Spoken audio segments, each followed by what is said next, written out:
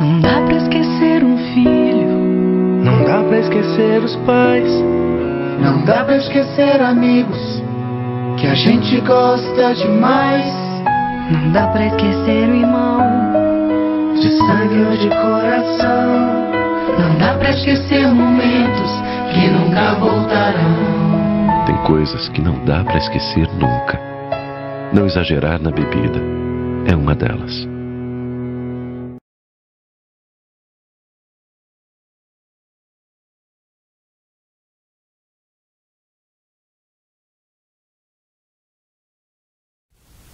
Amigos, muito boa noite. Está começando mais uma audição do programa Lagoa Debate. Conta com o apoio da Comercial Lagoa e Alto Mais. No programa da semana passada, contamos com a participação no Lagoa Debate do prefeito de Lagoa Vermelha, Gustavo Bonotto. Tínhamos tantos assuntos para abordar que uma hora se tornou num espaço diminuto para explorarmos tantas questões. E questões relevantes, questões importantes. Diante disso, propusemos, durante o programa mesmo de segunda-feira passada, darmos sequência nesta segunda-feira. Ou seja, o prefeito Gustavo Bonotto falar sobre aquilo que não foi possível no programa da semana passada. Tem uma série de questões, tem uma série de assuntos, algum, alguns quentinhos saindo do forninho. O prefeito prontamente se dispôs a falar e aqui está para participar do programa Lagoa Debate. Agradecemos, meu caro prefeito Gustavo, a sua disponibilidade, mesmo sabendo que sua agenda, a agenda de um prefeito, é concorridíssima. Muito boa noite. Boa noite, Ademar. Boa noite a toda a equipe da Lagoa TV, da Lagoa FM e especialmente a todos aqueles nossos ouvintes e espectadores. Na verdade, me sinto na obrigação, Ademar, é de agradecer o espaço aqui concedido, deste programa que já faz parte da programação semanal da nossa querida Lagoa Vermelha, pois o encaro como uma forma de podermos colocar em pauta alguns assuntos que estão em discussão e também trazer alguns detalhes de novos desdobramentos acerca da atuação da administração pública. Prefeito Gustavo, hoje, na primeira hora da tarde, o senhor teve reunião com a empresa Mate Construtora, que deve retomar as obras de pavimentação de 12 ruas de nossa cidade e a construção de uma nova Avenida Presidente Vargas. Exatamente, Ademar. Nós tivemos hoje, eh, semana passada, na terça-feira, nós nos encontramos com um dos gerentes da, da, da Mate Construtora, onde nós fizemos a cientificação dele, assim como fizemos da empresa Traçado, da Caixa Econômica Federal e também do Ministério das Cidades, através de ofício, nestes casos, uh, colocando de, o parecer jurídico do município de Lagoa Vermelha, entendendo que após os últimos desdobramentos judiciais, uh, passando a valer a decisão de primeiro grau, ou seja, concedida pelo juiz de Lagoa Vermelha, uh, deveria ser as obras recomeçadas. Então hoje eles vieram para saber alguns detalhes, foi tratado na verdade mais especificamente detalhes técnicos acerca do projeto, como por exemplo a necessidade de reconstrução da base iniciada na rua Valdomiro Nepomuceno, também o restabelecimento do cronograma para que esse cronograma possa ser submetido à Caixa Econômica Federal. Aqui vale a pena nós fazermos uma pausa e esclarecermos o passo a passo para a nossa comunidade tendo em vista todo o atraso, uh, assim como quando um, o, nossos cidadãos vão construir uma casa com a Caixa Econômica Federal, por exemplo, é submetido um plano de trabalho, um cronograma de execução física e financeira.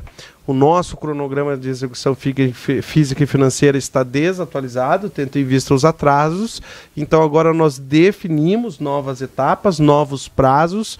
Nós vamos submeter isso à Caixa Econômica Federal. Estamos tentando agenda para quarta ou quinta-feira desta semana. Ainda devemos ir à Gigov que é o departamento que trata de assuntos governamentais da Caixa Econômica Federal, uh, para que possamos apresentar este novo cronograma e uh, esperamos que assim que aceito nós emitiremos então a ordem de serviço para a retomada uh, das obras do financiamento para o transporte do PAC da Presidente Vargas, como assim se chama.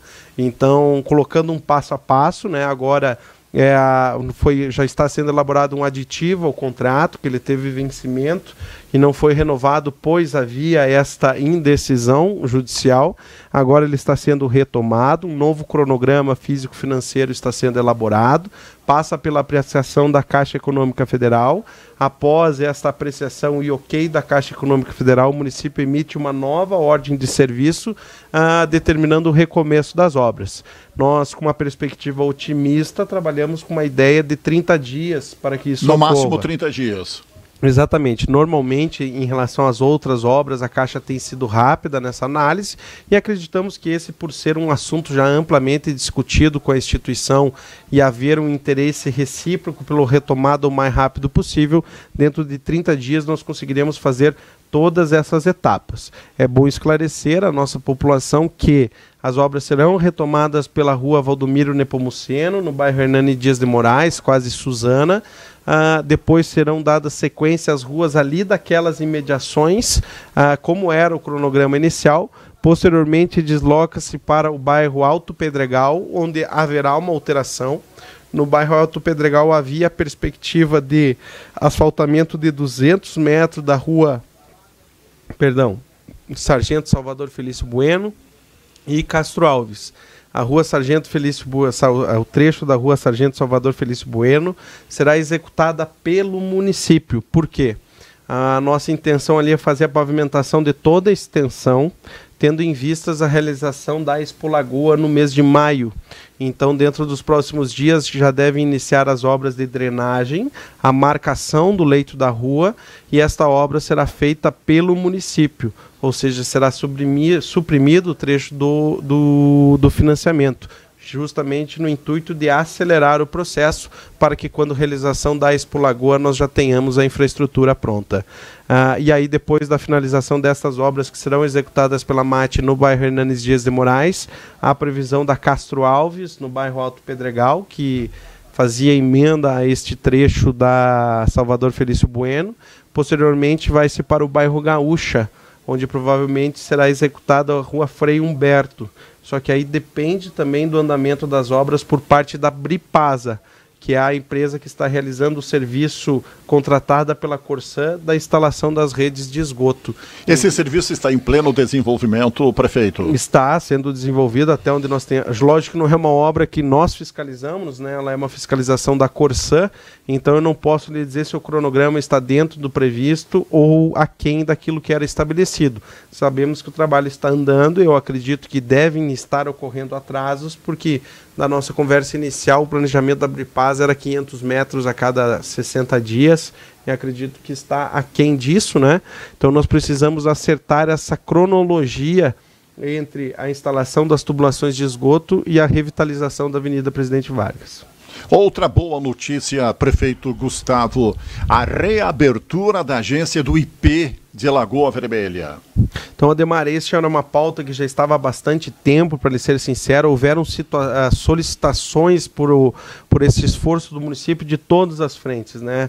Nós tivemos uma cobrança da nossa base, ele é, do, dos vereadores no, do nosso partido, dos deputados da nossa, da nossa base também, assim como do vereador Braulio Guedes, do deputado Santini, a senadora Ana para lhe ser bem franco, nós fomos assediados por todas as frentes para que fosse retomada. Para esclarecer aqui, na verdade, esse modus operandi do IP, ele praticamente em todos os municípios do interior hoje ele está funcionando com a cedência de funcionários de, dos municípios. Em Lagoa Vermelha, após a aposentadoria do Luiz, esse lugar estava vago, né? Nós tentamos num primeiro momento que o próprio estado preenchesse a vaga, pois entendemos que lhe cabia essa questão, considerando do número de beneficiários que existe em nosso município e pelo nosso conhecimento de servidores de outras áreas do estado que teriam condições de ser relotados, né? Buscamos a transferência de uma servidora da Secretaria de Educação para o IP, do qual não foi possível. Aí nos foi indicado que esse tipo de transferência de funcionários entre as áreas do Estado somente se fossem dos antigos funcionários da Caixa Econômica Estadual. Nós fomos atrás desses profissionais que ainda existem em Lagoa Vermelha. Não houve interesse dos mesmos em fazer a, a troca de local de trabalho, né? Então nós optamos por fazer a retomada através da cedência de um servidor do município que deve agora estar em processo documental. Dentro de poucos dias deverá ser efetuado esta cedência que permitirá então a reabertura do posto de trabalho do IP no município de Lagoa Vermelha. Reabre imediatamente.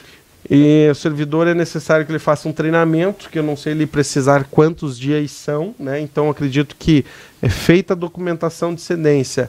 Ah, após isso é necessário se fazer essa capacitação para então a abertura novamente do escritório do IP. Prefeito, o senhor manteve reunião com o presidente do SICOM.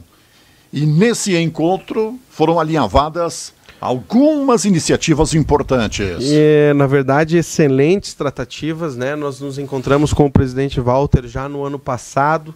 Uh, no entanto, era um período complicado para ambos, né? A, a, como traduzindo no linguajar conversamos, estava na, na época da safra dos móveis, né? Foi bastante difícil que nós consigamos. E foram duas audiências na semana passada, uma delas com o presidente Walter, o, o nosso secretário da Indústria e Comércio, João Paulo, e numa delas participaram os representantes do Senai de Passo Fundo, que respondem pela unidade de Lagoa Vermelha, e na outra, dois profissionais da UPF que, uh, que coordenam o CETMOV, que é o Centro Tecnológico de Inovação né, da Indústria Moveleira, que também é instalado em Lagoa Vermelha. Primeiro, nós precisamos definir o que, que são cada estrutura. Né? Então, a parceria para a instalação do Senai aqui foi do município, da Prefeitura de Lagoa Vermelha, do SICOM, do Senai, uh, que instituiu a escola de capacitação do Senai no município de Lagoa Vermelha com vistas a, num primeiro momento, atender uma necessidade pelos menores aprendizes, que existe uma determinação legal que 5% da mão de obra das indústrias, a partir de um determinado número de funcionários, uh, seja obrigatoriamente de menores aprendizes. Então, essa escola do Senai vem justamente para cumprir esta obrigação junto ao Ministério do Trabalho, no entanto, com uma capacitação já voltada ao setor, ou seja, que fosse auxiliar na formação de mão de obra capacitada. Esta é a instituição do Senai. O CETIMOV ele é um projeto mais recente, do qual fazem parte também Prefeitura Municipal, SICOM, uh, e SENAI e o PF. O que, que ocorre? O governo do Estado uh, desenvolveu um programa para incentivar a formação de centros tecnológicos de inovação. Um deles, um dos dez centros do Estado, foi em Lagoa Vermelha, chama-se Setimove e trata-se da produção uh, da tecnologia e inovação da área moveleira. Só para citar como exemplo, como é um projeto estadual, houve também um em Sarandi, por exemplo, está instalado o Centro de Desenvolvimento Tecnológico e Inovação da área têxtil. Este projeto ele tratava-se de uma de, eh, de, recursos disponibilizados pela Secretaria Estadual de Desenvolvimento Econômico, Ciência e Tecnologia. Se não me falha a memória, me permita uh, aqui algum erro, mas acredito que foi no ano de 2012 ou 2013. E o projeto de Lagoa Vermelha, encabeçado pela UPF, né, e tendo como parceiro todas essas áreas, foi contemplado e com os recursos desse projeto foram adquiridas máquinas que serviriam para compor um laboratório que serviria tanto para a qualificação quanto para o desenvolvimento da inovação tecnológica. No entanto, esse projeto foi executado, as máquinas estão em Lagoa Vermelha, duas delas nas dependências hoje do Senai e uma delas nas dependências da UPF uh, o, algumas sendo utilizadas pelo Senai e as outras precisando ainda ser incorporadas ao dia a dia, seja pelo estabelecimento de um plano de trabalho, de uma governança de todas essas entidades. Paralelo a isso, nós tivemos a proposição durante o período eleitoral da instalação da, da Escola do Fazer cujo objetivo da Escola do Fazer era justamente uh, permitir que o município de Lagoa Vermelha oferecesse capacitações, ou seja, treinamentos uh, na área profissionalizante.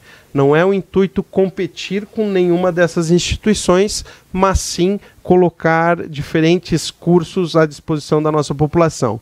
Uh, juntando todas essas demandas, pois nós temos de um lado o Senai que tem uma dificuldade pelo, pela manutenção da sua unidade em Lagoa Vermelha pela baixa procura dos cursos, tendo essa necessidade do Setmove por agora construído o corpo, que ou seja, foi adquir, foram adquiridas máquinas, foi adquirida a infraestrutura, no entanto, falta a alma do projeto, o desenvolvimento do mesmo, tirá-lo do papel e fazer acontecer. Da mesma forma, aproveitando a estrutura aqui instalada do SENAC, que é voltada à qualificação para o ramo do comércio e prestação de serviços, uh, nós reunimos todas essas demandas e vamos instrumentalizá-las a partir da Escola do Fazer, que além de colaborar, perdão, sendo o mais claro possível, subsidiar partes dos cursos realizados pelo Senai, pelo Senac e uh, ajudar no desenvolvimento da qualificação e inovação tecnológica pelo Setmove, ela também vai vir a oferecer cursos de curta duração no sentido de apoiar o empreendedorismo. Aí, inicialmente, além dos cursos dessas unidades parceiras que já estão sendo instaladas, uh, nós iremos desenvolver os cursos de uh, empreendedorismo com fulcro para jovens e adolescentes que estão no ensino médio ou estão cursando uma faculdade, cujo objetivo é, através de encontros regulares e visitas técnicas, possibilitar que eles desenvolvam um plano de negócios desde a identificação do perfil do empreendedor, de quem vier a participar, até uma oficina de geração de ideias, ou seja, de identificação de oportunidades, e a partir de então, utilizando a metodologia do Sebrae, fazer o desenvolvimento de um plano de negócios, que envolve plano de marketing, plano operacional, pesquisa de mercado, ou seja, é para colocar no papel ideias de futuros negócios. Esse seria um módulo. O outro módulo seria para aqueles que já têm o seu empreendimento. Uh, ou seja, aqueles que já têm o seu pequeno negócio ou até mesmo grande, mas no entanto ainda não têm a definição clara, por exemplo, de quais são os seus clientes, quais são os seus fornecedores, quais é a sua definição de custo de preço, sua estratégia de mercado, estratégia de marketing. E nós acreditamos que através disso, Ademar, nós vamos colaborar para uma, um fortalecimento e até uma ampliação da matriz produtiva de Lagoa Vermelha. O nosso objetivo através da capacitação, uh, poder provocar novas iniciativas. Como que nós vamos fazer isso? É lógico que a base é para manter aquilo que já tem, ou seja, a busca pela manutenção da escola do Senai é para qualificar a mão de obra do setor moveleiro ou até mesmo incentivar quem hoje trabalha de empregado, por exemplo, ao fazer o curso de marcenaria básica, poderá vir a empreender no ramo de móveis sob medida, por exemplo, ou até mesmo, com certeza, poderá ser um montador de móveis. Uh, em síntese, o conhecimento ali adquirido, como o educando vai utilizar, Uh, não tem limites, né? seria apenas um start. Da mesma forma com o SENAC, onde os cursos base seriam na parte de atendimento ao cliente, na parte de, uh, de, de, vendas, né? No entanto, também é nosso interesse, através dessas parcerias, fomentar novas iniciativas. Por exemplo, com o Senai, nós queremos trazer um laboratório de robótica, cujo objetivo é colocar as crianças a partir de 13 anos, ou seja, aquelas que estão no nono ano do ensino fundamental da rede municipal, a fazer oficinas de robótica. Então, o Senai será nosso parceiro nesse sentido. Com o Senac, nós vamos conseguir, por exemplo, oferecer uma capacitação no desenvolvimento de aplicativos para celulares, que, querendo ou não, hoje mostra-se um negócio sem fronteiras. É, nós temos cada vez mais a necessidade de consumir serviços que nós sequer imaginávamos que um dia iríamos precisar, a questão de anos atrás. Outra ferramenta que vai ser possível através de uma parceria com o Senac é o oferecimento de cursos de e-commerce onde a ideia até no dia 5 de abril já está marcada a realização de uma palestra que envolve também a parceria do Sebrae, para que nós possamos incentivar os nossos comerciantes ou até mesmo aqueles que hoje não têm ou não participam deste ramo de negócios virem a empreender. Então vamos tentar uh, cada vez mais uh, inovar, né, buscar uma inovação através do incentivo pela capacitação acredito que será uma marca bastante importante, Ademar. É, esse esforço ele, ele ainda demora um tempo para ser uh, tirado do papel, mas ele acredito ter a convicção que antes do primeiro semestre de 2018 nós já vamos ter uh, por completo esta estrutura. É lógico que o primeiro passo, a exemplo do que estamos fazendo com o Centro de Treinamento para Agricultores, estamos fazendo com a Escola do Fazer, buscando atender assim os três principais ramos da economia que são indústria, comércio e agricultura. E o objetivo por trás disso é o entendimento de que o município pode trabalhar para fortalecer a, a economia através da capacitação, pois desta forma talvez seja a mais barata, né? Uh, mas no entanto que vai nos permitir, uh, de certa forma, colher frutos num médio e longo prazo que nós ainda não temos como mensurar.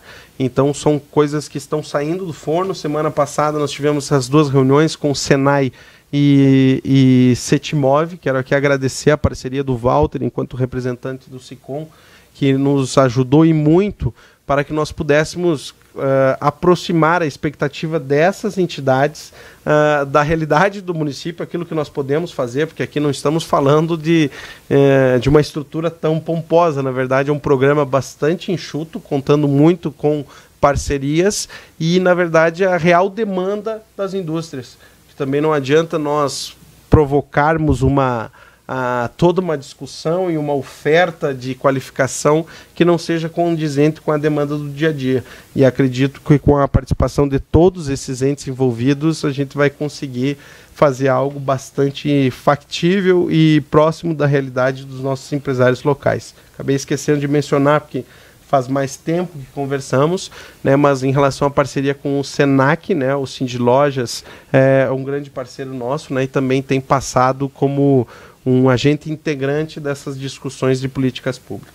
Prefeito Gustavo, o município entabula conversações no sentido de viabilizar com a UPF, na condição de parceira, um projeto que visa o aproveitamento da mão de obra prisional. Exatamente, Ademar. Para ser mais franco, nós iniciamos essa conversa através de uma demanda, de uma a proposição do Ministério Público. Né? Nós fomos procurados pelo promotor Felipe Barcelos uh, e apresentou ao município de Lagoa Vermelha, Caseiros, Ibiraiaras e Capão Bonito o presídio. Né? Nós fizemos uma visita, se não me falha a memória, em abril ou maio de 2017 ao Presídio Estadual de Lagoa Vermelha, onde nós deparamos com uma situação bastante precária, para ser sincero, né? uma superlotação, uma dificuldade de colocação da mão de obra, tanto do sistema fechado quanto do sistema aberto. Uh, participou dessa reunião também a dona Helena Argenta, que é então presidente do Conselho Comunitário do Sistema Prisional, onde nos foi apresentada como sugestão a possibilidade de vir utilizar uh, essa mão de obra no nosso município. De, de imediato, nós já desencadeamos a retomada do convênio com a SUSEP para a utilização dos apenados do semiaberto na uh, Secretaria Municipal de Obras e Viação.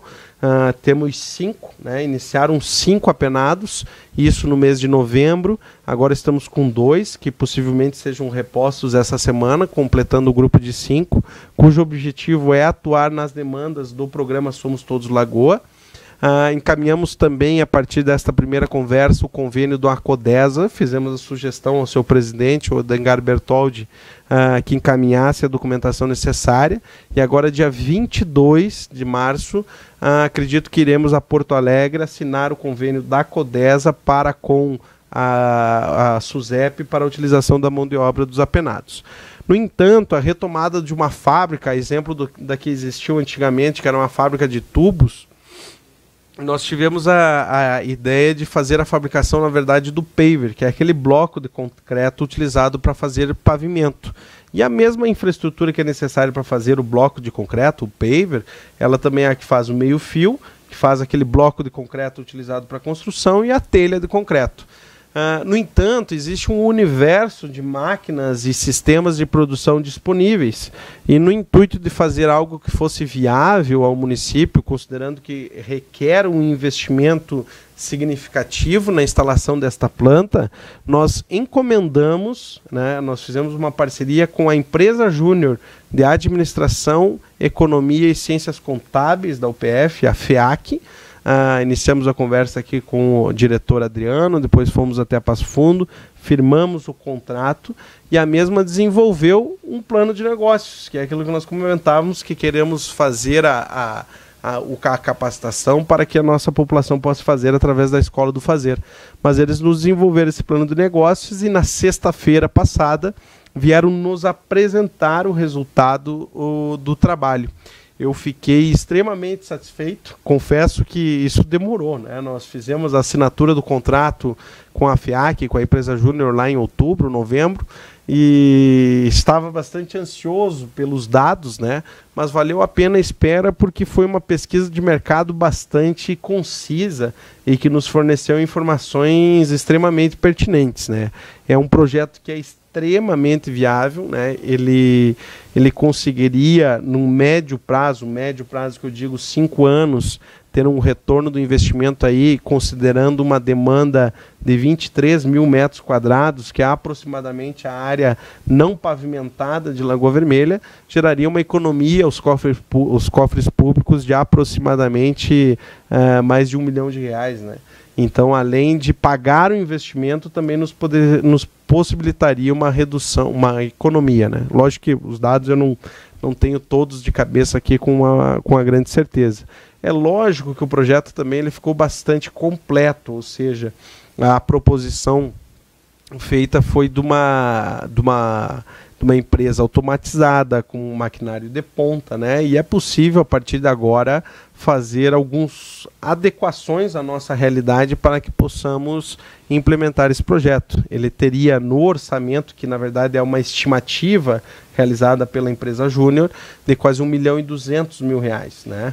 Ah, o que estaria fora do nosso alcance nesse primeiro momento, considerando que é um volume bastante grande de recursos.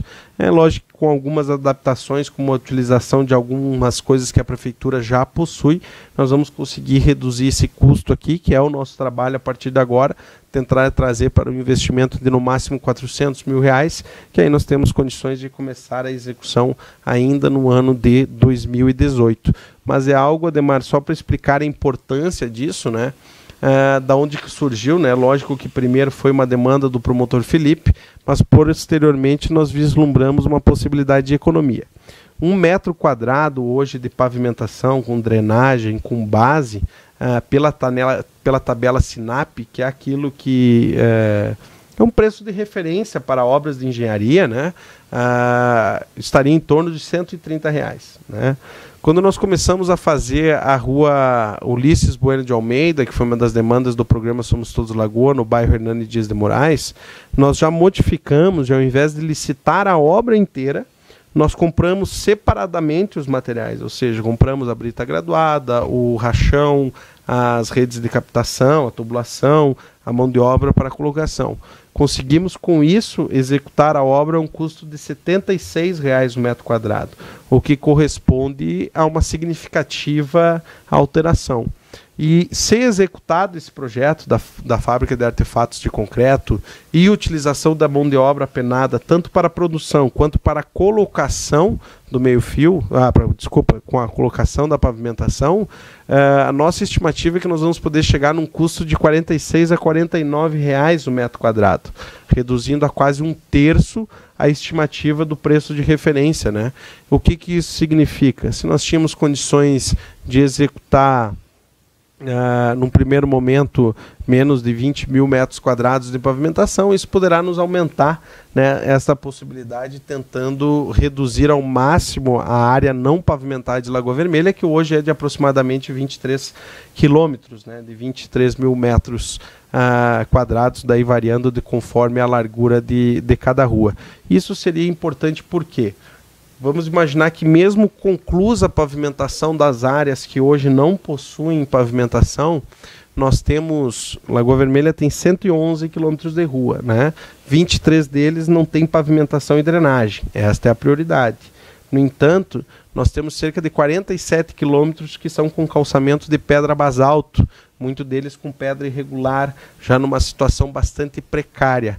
Uh, se nós conseguíssemos reduzir esse custo, né, a possibilidade ou a capacidade instalada dessa indústria, ela poderia vir a atuar na substituição desse material, uh, trazendo uma qualidade maior à nossa pavimentação de Lagoa Vermelha.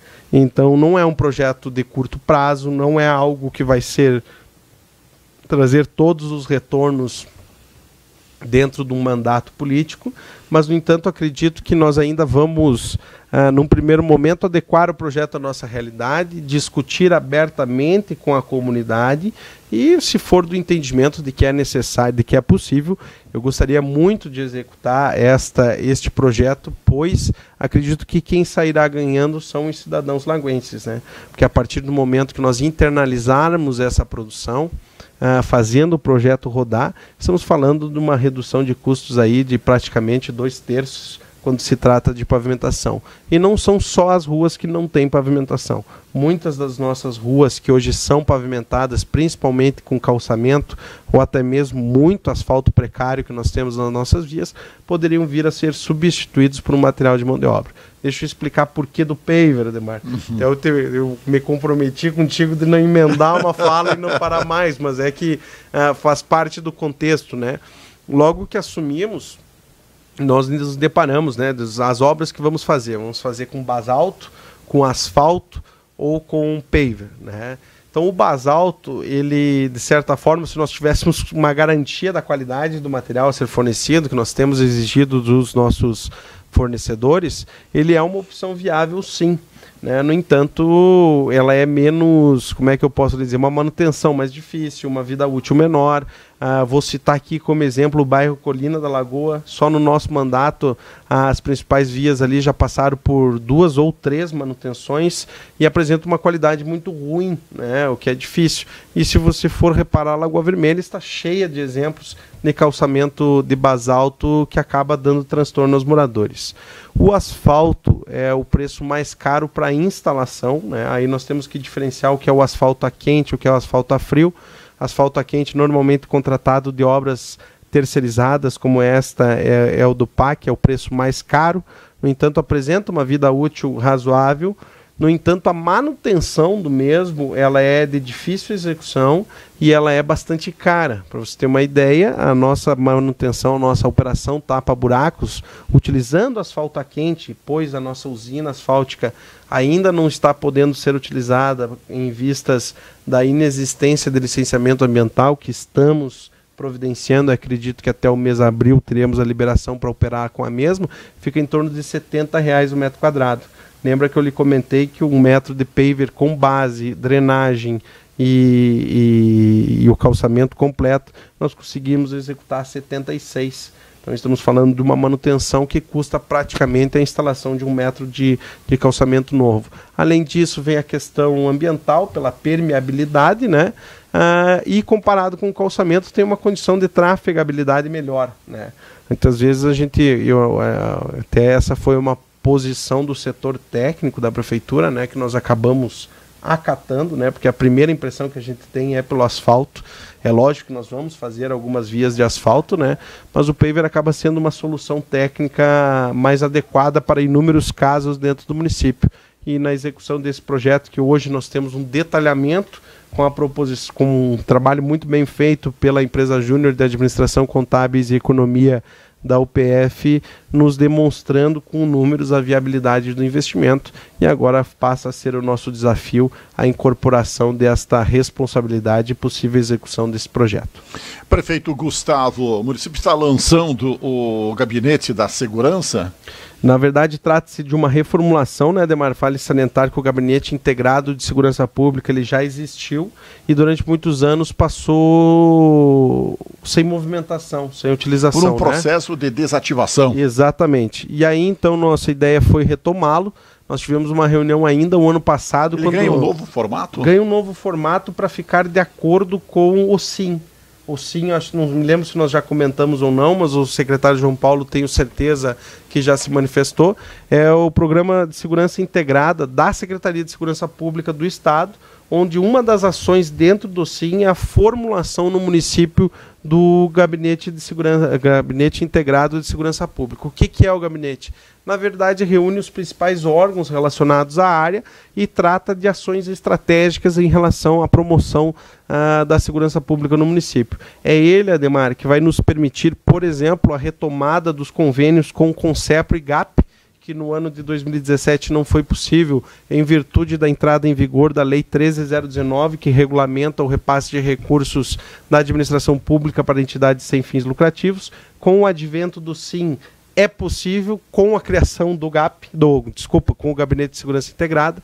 Da mesma forma, algumas demandas que já foram discutidas em outras oportunidades, eu quero fazer, eu faço questão de poder implementá-las em nosso governo.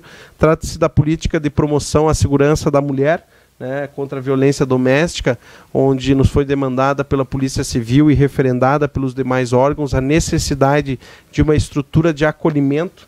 Muitas vezes ocorre, por exemplo, Ademar, uma mulher é denunciante, né, ela vai fazer uma acusação dentro da popularmente conhecida Maria da Penha e ela acaba tendo que retornar à casa onde está o, o, o agressor, né?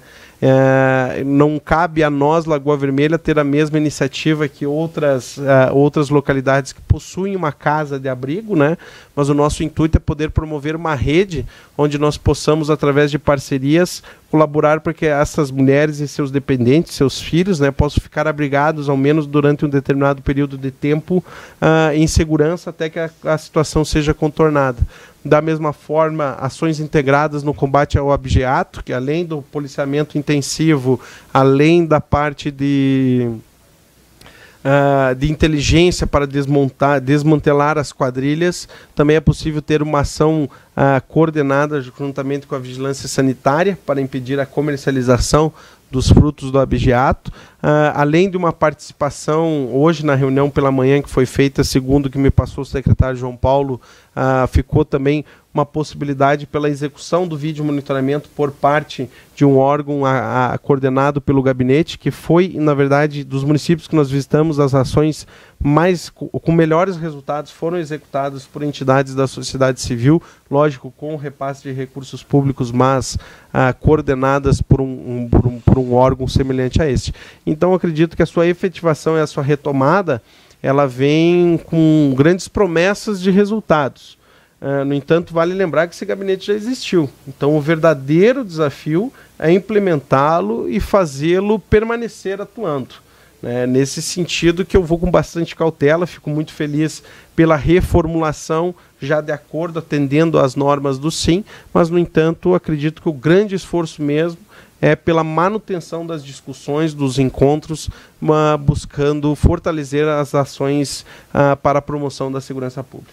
Prefeito Gustavo, com relação ao Hospital São Paulo, surgiu alguma novidade nos últimos dias? A partir de segunda-feira da semana passada, quando comentamos aqui no programa Lagoa Debate. O que, que nós tivemos a partir de segunda-feira, que foi a última vez que nós conversamos, foi a concretização daquilo que era uma, uma possibilidade. Então, o município, de fato, instaurará uma tomada de contas especial, explicando aos nossos munícipes do que, que se trata, na verdade, é uma auditoria Uh, inicialmente, a tomada de contas especial ela serve para a verificação da aplicação de um recurso específico, que no caso do município de Lagoa Vermelha seria o repasse mensal. No entanto, ela terá um caráter mais amplo, já com a anuência do hospital. Vale aqui mencionar que foi comentado isso com a Fundação Araucária e a mesma se predispôs a estender as possibilidades dessa tomada de contas especial, que nós queríamos saber exatamente questão de faturamento, o quanto entrou, quanto saiu, qual é o balanço dos últimos 12 meses. Esse trabalho de tomadas de conta especial ele será coordenado pelo controle interno, que é um órgão da Prefeitura Municipal cuja responsabilidade é atuar como um braço do Tribunal de Contas dentro do município, tanto para as ações do gestor público, do executivo, quanto do legislativo, e também das entidades que são parceiras ah, na execução de tarefas ah, através de delegações ou convênios executados. Aí a competência de poder atuar junto ao Hospital São Paulo. E está pactuado, mesmo que verbalmente, um acompanhamento por parte da comissão para o hospital que já estava se organizando para a realização de uma auditoria. No entanto, a gente entende que essas pessoas têm suas atribuições do dia a dia, o que acaba dificultando aquele trabalho braçal mesmo, aquele trabalho de levantamento de dados. Então, o que, que foi o combinado?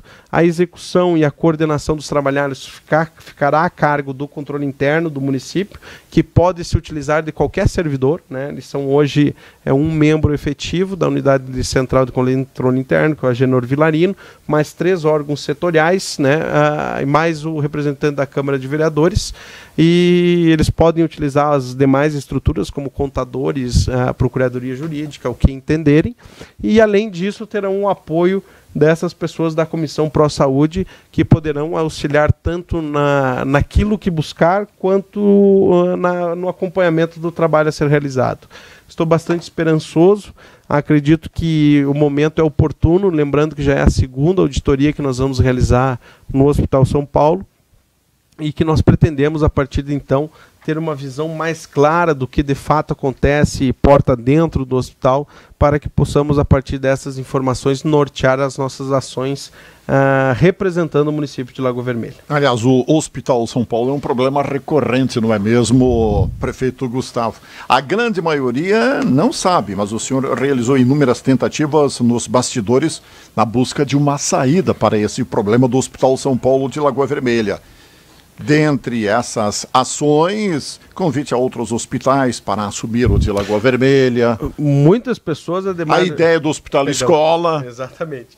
Uh, me desculpe, muitas pessoas nos dão essa sugestão, né? E às vezes quando eu digo, mas eu já tentei, as pessoas dizem, ué, mas como é que eu não sabia, né? Mas então o que, que aconteceu? Aquela negociação que ocorreu em janeiro de 2017 chegou em determinado momento que nós, uh, num misto de amor e ódio com o hospital, né? Eles, não, eu, do jeito que tá, eu não fico, segundo a Fundação Araucária. Então eu vou buscar um novo parceiro. Tem anuência para arrendar ou, ou vender o hospital? Se encontrar alguém, estamos à disposição. E com esse respaldo e com, a, e com uma proposta, digamos assim, não financeira, mas uma apresentação dos dados que daí nós tínhamos da auditoria e também de dados internos da fundação, nós visitamos, por exemplo, o Hospital da, Hospital da Cidade de Passo Fundo. Falamos com o diretor dele, o Lucinei, né? Uh, no mínimo umas quatro vezes, né? Foram quatro nãos concisos, né? uh, num primeiro momento, sempre aquela expectativa, mas tente se acertar, se não dá. Na verdade, o Hospital São Paulo, o Hospital da Cidade se propunha a, a, fazer um convênio com o hospital, ou seja, também era mais dinheiro para prestação de serviço que não nos servia e aí até estava disposto a fazer um contrato de gestão, digamos assim, mas onde na verdade era mais recursos que eram necessários sem a efetiva instalação do mesmo. Nosso entendimento sempre foi que uma dessas instituições de Passo Fundo teria muito êxito ah, em Lagoa Vermelha, porque utilizaria a estrutura de Lagoa Vermelha como um filtro, né? porque os hospitais de Passo Fundo também estão lotados. As emergências também estão sobrecarregadas. Ah, existe uma dificuldade. O Hospital São Vicente de Paulo, na verdade, a nossa conversa foi mais além, né? Nós chegamos a, daí já não me recordo o número de vezes, mas foi mais do que quatro, né? Lá com o diretor Hilário, com o diretor técnico Júlio Stobe, ah, apresentamos formalmente a situação, fomos acompanhados dos demais municípios da, que tem o Hospital São Paulo como referência, uh, Ibiraiaras, Caseiros, Capão Bonito e Lagoa Vermelha. Fomos em conjunto lá, né? O Lagoa Vermelha foi sozinha algumas vezes, depois pediu ajuda, os prefeitos acabaram me ajudando. Houve, para lhe ser sincero, eu tinha uma certa esperança de que eles pudessem vir assumir. E em resumo dos casos, o Hospital São Vicente ele nos disse que havia feito aquele investimento no IOT, né, como é de conhecimento público, havia ser feito um investimento bastante grande e que a prioridade era retomar a, organizar a casa antes de qualquer coisa e que não teriam disponibilidade para investimento e que assumir o hospital também não era seu interesse pela necessidade de concentração de esforços nessas duas áreas. Infelizmente, pois no nosso entendimento, como comentei, Lagoa Vermelha poderia servir como um filtro. Também conversamos com o hospital de Juí, né, um dos hospitais de Juí, que estava expandindo, e aí foi o nosso interesse de procurar, procurar a, ali orientado pela senadora Anamélia, né, cujo seu chefe de gabinete, Marco Aurélio, foi presidente do hospital. Na verdade, eles vieram até Lagoa Vermelha fazer uma vistoria e, mais uma vez, entenderam de que não era possível fazer essa expansão tão, a tão longa distância, digamos assim, uh, pois ficava muito longe da sua base e tratava-se de um investimento bastante grande. Foi o único que chegou a falar em números. Né? Uhum. A Fundação Araucária ela nos apresentou uma avaliação do seu prédio de 14 milhões e 400 mil, se não me engano, de toda a estrutura. E essa comissão que veio do Hospital de Juí, uh, em loco, acabou corroborando, né, dizendo que, de fato, lógico, que uma negociação sempre vai trazer o preço para baixo, mas que, não que a Fundação Araucária não estaria tão longe do valor a ser considerado. Eu estive também no Instituto Santé, no município de São Miguel do Oeste, Santa Catarina, onde esse instituto, eu fiquei sabendo que eles estavam em tratativas com o Hospital de Campos Novos.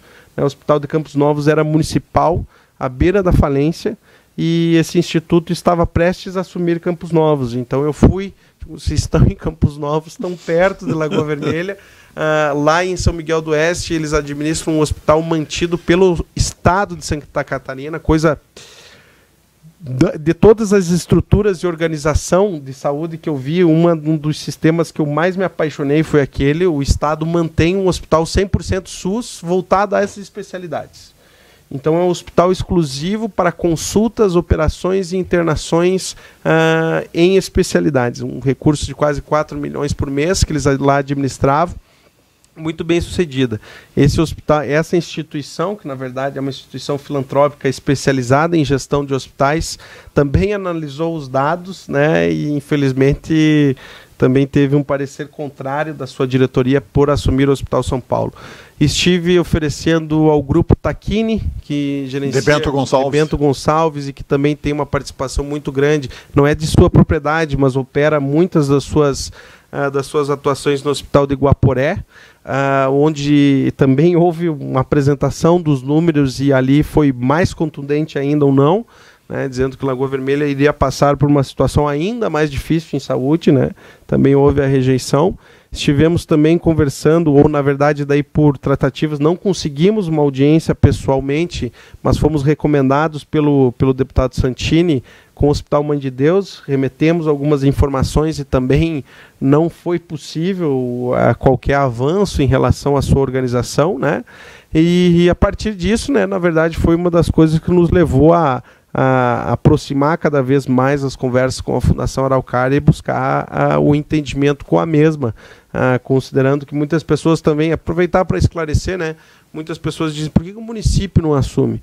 É extremamente inviável, demais essa hipótese ela tem que ser descartada até o último momento. Exatamente. O que virá a ocorrer, sendo bem franco, é que se o Hospital São Paulo vier a fechar as portas, o que o município deverá vir a fazer até por uma obrigação constitucional, né, que inclusive nós tivemos a conversa com o promotor uh, público dessa área, né, será a manutenção do plantão 24 horas, mas daí sem a possibilidade de internação. Né? Então é o hospital por si só o município não tem condições de manter, não existe essa possibilidade. Mas vamos pensar que numa eventualidade de fechamento das portas, que é o que nós trabalhávamos, né? nós chegamos a nos preparar para que, fechadas as portas do Hospital São Paulo, nós tivéssemos condições de oferecer no mínimo o plantão 24 horas, utilizando a estrutura do hospital através de uma intervenção parcial para atender às necessidades da população. Aliás, com relação ao plantão 24 horas, urgência e emergência, também existe um problema sério.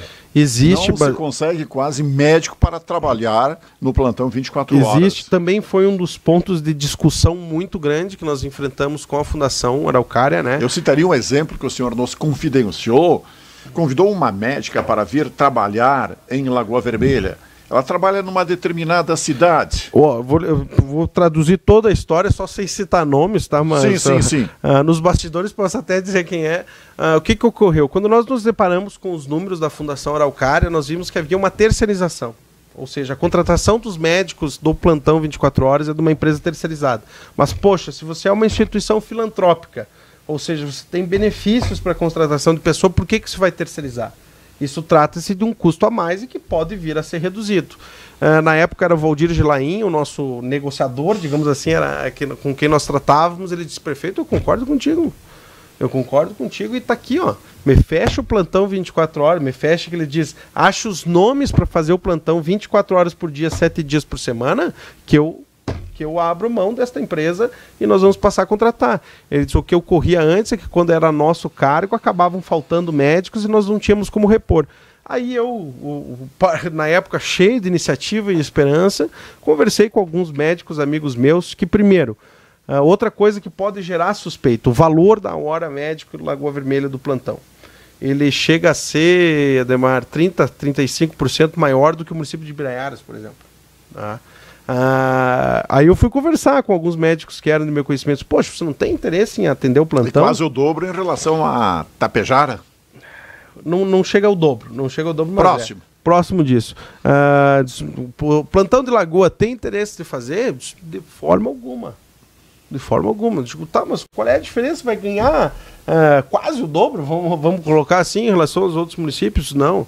O plantão de Lagoa é extremamente diferenciado. É uma demanda, é uma sobrecarga de trabalho. Muita pressão. Muita pressão, comparado com o município, por exemplo, Caseiros e Biraiaras, né? Uh, que acaba não tendo uma demanda tão grande de serviço assim. E foram inúmeros animais. Eu não sei precisar o número, mas aqueles que eu tinha relação, eu acabei conversando. Existe também uma história, Ademar, que aí eu não pude verificar a fundo, né? Mas que de quando não era com esta global, existia um médico que era responsável, né, pelo mesmo, e aí existia um. Como é que eu posso colocar de uma forma de uma forma correta que uh, um protecionismo, digamos assim, é meu e você não entra, entendeu? É, digamos, não havia abertura, porque uma das pessoas que comentei diz, não, eu trabalhei em tal época, mas ó, era difícil, fulano de tal, era só os pior horário, não havia uma parceria e tal. Corporativismo. Um corporativismo, né? Esse médico até já nem está mais em Lagoa Vermelha, né? De se fazer, mas ouvi esse comentário que existia. Uh, eu acredito que tem como reduzir esse custo, que é o que o Sagim comentou, né? Eu concordo plenamente, existe como quando cobramos da Fundação Araucária, foi uma das coisas que eles ficaram de providenciar. No entanto, não tivemos a continuidade de um diretor, né? Uh, a mesma coisa ocorre em relação à contratação dos anestesistas, por exemplo, é um valor extremamente considerável. Nós acabamos tentando também, Ademar, entrar em contato com empresas e pessoas, e para lhe dizer a verdade, é, é difícil, não é, é, é uma área. É, é, uma área que existe um, um corporativismo, para ser sincero, né? que tem um protecionismo e isso acaba elevando o preço. Conversei muito com o doutor José Mário a respeito, né? O José Mário disse que de fato talvez conseguiria uh, reduzir o custo, mas que era para ir com calma, que não, não, não, não, não é do dia para a noite que se constrói isso, né? Mas que existem sim médicos em Lagoa Vermelha que estão dispostos, mas que de fato não há uma gama tão grande que permita. E daí se for perguntar, que era uma das minhas indignações, mas por que o plantão de Lagoa é complicado? de recai, que nem eu comentei no programa de segunda-feira passada, é um círculo vicioso. Por não conseguir dar atenção básica da forma como, como é necessário, o, plantão acaba sendo sobrecarregado. Só que para manter o hospital como um todo, a gente acaba gastando um recurso bastante substancial que nos impede de ter uma melhoria mais efetiva e rápida no sistema de atenção básica.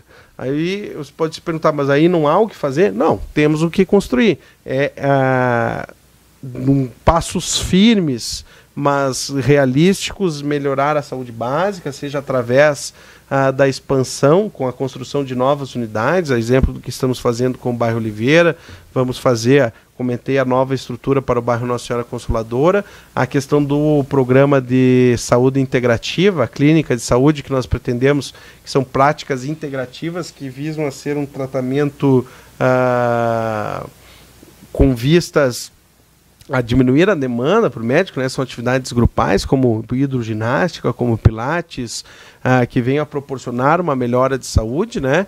Uh, sem a necessidade de consulta médica ou posterior à mesma, com encaminhamento. Ah, o agendamento de consultas também vem nesse sentido, né? E acredito que ao, um horizonte, digamos assim, satisfazer por completo, colocar a saúde como se merece a nossa população, vai ser de, muito difícil, Bem né? complexo. A menos que O exista. senhor levantou alguns nomes como sugestão para ocupar a direção do hospital. na reunião, né, que essa questão do diretor, Ademar, ela não é nova. Lá quando nós começamos a negociar, o Valdir já colocou o cargo dele à disposição. Eles olhem e, se acharem que eu não sou competente que eu não posso, arrume outro. E digam, né? E aí na época nós também não tínhamos, estávamos no início da administração, é complicado você fazer uma recomendação, né, ah, a um determinado posto. E aí depois veio o Marcante, nós entendemos, não, o Marcante, eh, por mais que ele tenha uma ligação grande com a Fundação Araucária, mostrou que consegue gerenciar e tem, né? Acaba que o Marcante também tem outros projetos na vida pessoal dele que acabaram não dando a exclusividade para o Hospital São Paulo e acabaram posteriormente fazendo o pedir para para trocar de lugar, né? A vinda do Sagim foi algo que nós recebemos com muito entusiasmo, porque tratava-se de uma pessoa técnica, né? De uma Exato. pessoa escolhida a dedo, digamos assim Conhecedora do meio. conhecedora do meio, infelizmente veio o ocorrido e daí nós achamos por bem não nos isentarmos mais, né? Nós não condicionamos para que a Fundação Araucária colocasse ou não, mas nós fizemos algumas sugestões de, de nomes que nós acreditamos que poderiam vir a contribuir, né? Dá A- para revelar, prefeito?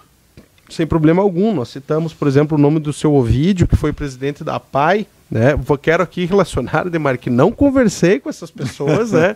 então não houve uma tratativa com as mesmas, foi apenas no sentido de que a Fundação Araucária procurasse essas pessoas para para conversar, né? Do Ovídio, que foi diretor da PAI, acredito ter condições, também chegou a, a sugestão do senhor Gilberto Jaboeski, também a, Que se aposentou da Caixa. foi o que ouvimos falar, não conversamos com o mesmo, né? Daqui a pouco a gente está dando um balão do tamanho do mundo aqui, mas eu acho que naquele momento foi importante fazer essas sugestões, nomes de Lagoa Vermelha. Eu reforço, Ademar, quem tiver sugestões que leve até a fundação, nós nos responsabilizamos por cobrar o compromisso que eles assumiram de abrir as portas para alguém de Lagoa Vermelha, né? Que eu acho que seria algo importante.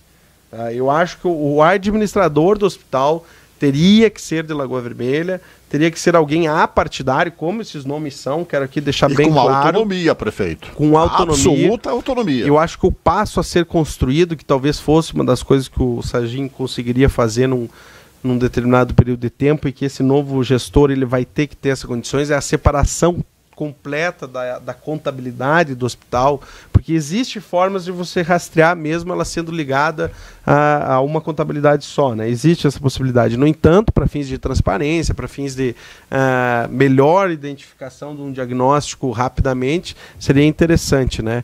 E eu acho que Lagoa Vermelha tem condições, né? Nos falta às vezes, talvez a pessoa esteja na nossa frente e nós não estejamos nos dando conta, né? Mas eu reforço que acredito que essa pessoa deveria ser daqui. Nada contra pessoas que vêm de fora, pelo contrário, acho que tendo condições também ah, teriam. Mas infelizmente o Hospital São Paulo já sai de uma descredibilidade, de uma falta de confiança que não adianta ser escondida e ela precisa ser superada. Né? Eu acho que ela tem que ser construída ah, de uma forma que ah, permita a comunidade ter o crédito novamente. Eu acho que essa comissão pró-saúde é para o Hospital São Paulo, ela é de extrema significância, ela é muito importante para que nós possamos atingir os objetivos propostos. Prefeito, nosso tempo está esgotando. Mais uma vez, Mais uma vez. Rapidamente, tenho três questões aí que Tá eu ok. gostaria de abordar com a sua participação em nosso programa. Compra de vagas para escolas infantis, com o objetivo, com a finalidade de zerar a fila de espera. é uma das nossas metas, Edmar. Esse Vai processo partir para a compra de vagas. Esse processo iniciou ainda com a secretária Dilma, né? A primeira questão foi fazer um, um aprofundamento na fila de espera, ou seja, um passo consequente a isso vai ser a regionalização da matrícula e uma central única de matrículas. Eu acho que é necessário, porque muitas vezes ocorre de você ter a demanda da mesma criança em diferentes creches.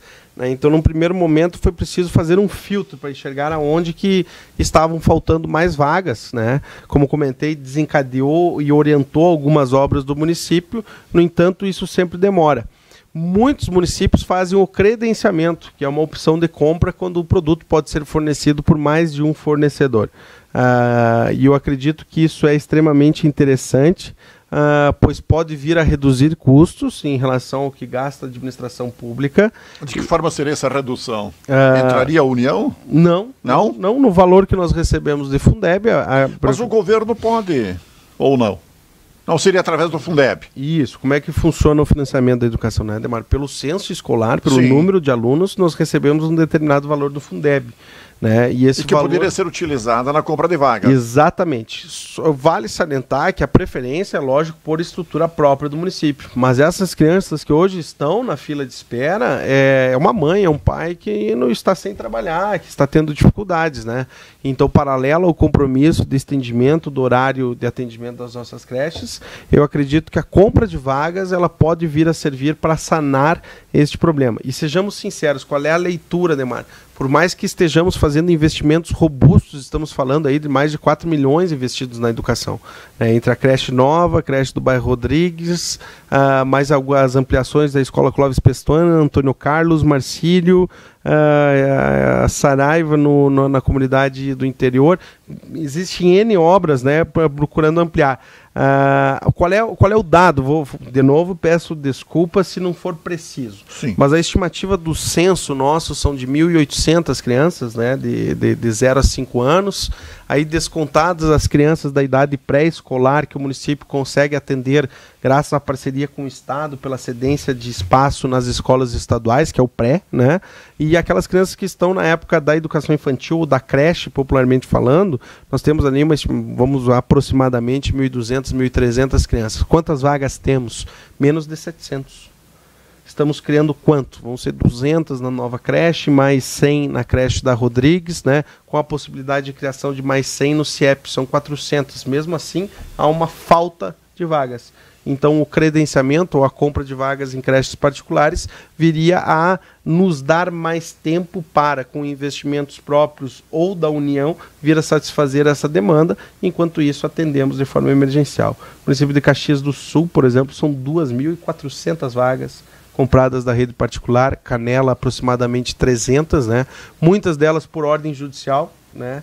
Considerando que é um direito da criança ter essa vaga, né? Muitas vezes é, a iniciativa ela é tomada por uma medida judicial, nós entendemos por aqui por bem nos antecipar. Né? Então o caminho é esse da compra de vagas. A propósito, a saída da secretária Dilma, amanhã ela participa do programa Bom Dia Cidade, mas uhum. já antecipou lá, entende tem a convicção de que foi uma decisão eminentemente política, ou seja, pressão política do seu partido, Partido Progressista. Nós tivemos essa conversa já com a secretária Dilma, não posso dizer que foi uma, uma saída tranquila, para lhe falar a verdade. Da minha parte, só me resta reafirmar aquilo que já falei em determinados momentos, inclusive com a própria Dilma.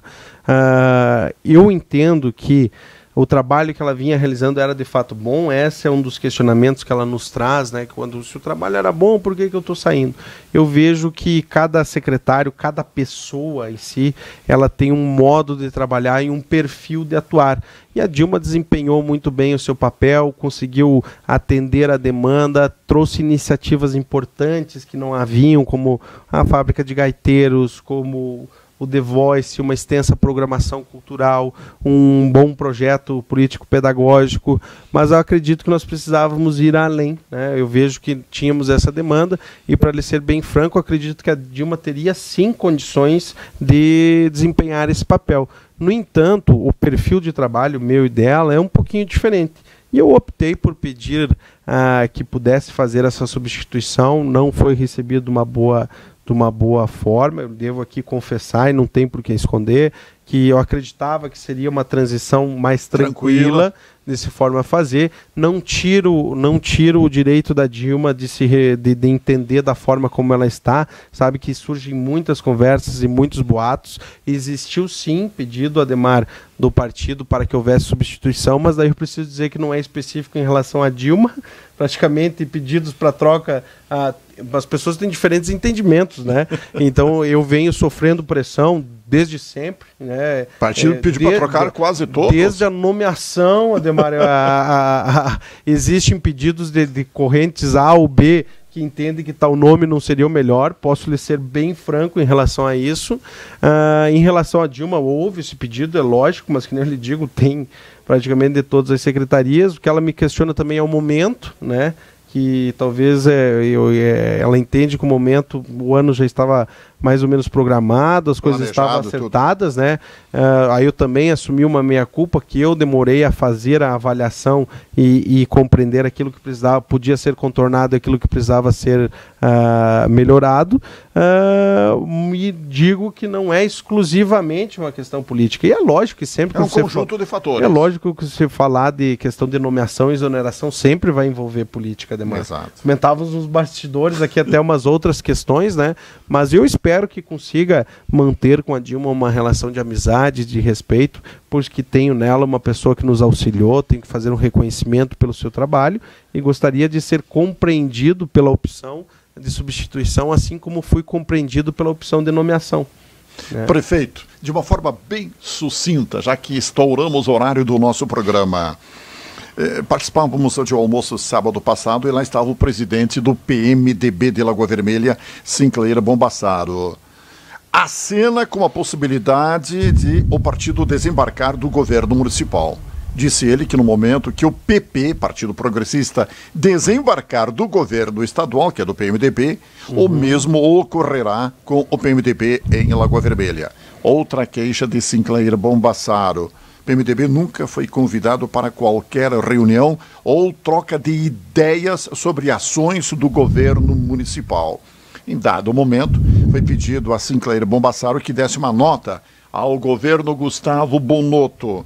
Deu nota 5 e acrescentou com muita boa vontade. eu devo aqui separar, de te confesso, Ademar, que eu não sei se essa é uma avaliação do PMDB ou exclusivamente do, do seu presidente Sinclair Bombassaro. O que eu tenho para dizer é que com o vereador Ricardo e com o nosso secretário Ricardo Valtric, a gente tem uma relação muito próxima temos o encaminhamento de demandas de ambos, ambos têm uma participação efetiva dentro do nosso governo. Uma das maiores queixas do Sinclair, na realidade, é a abertura de espaço, é a inclusão de determinados nomes que nós convenhamos, acreditamos não serem os mais corretos. E eu fico. O MDB quer um espaço maior. Eu fico muito tranquilo em relação a isso, Ademar, porque, de certa forma, o nosso propósito é sim fazer um reconhecimento àqueles que nos auxiliaram a chegar aqui, mas devo lembrar que a expressão da nossa chegada até o governo, ela não foi dependente do partido A, B ou C. É, ela é uma soma de fatores e uma predominância da vontade da população em relação a se fazer diferente. E nós temos feito. E é lógico que isso vai desagradar partido A, partido B, que talvez esperasse que chegado fosse colocado à sua disposição tal e tal e tal secretaria, aqui é vocês que mandam, aqui vocês que nomeiam, aqui vocês que tiram. Isso jamais Por vai questão de justiça, prefeito. A bem é. da verdade, o senhor ganhou a eleição sozinho.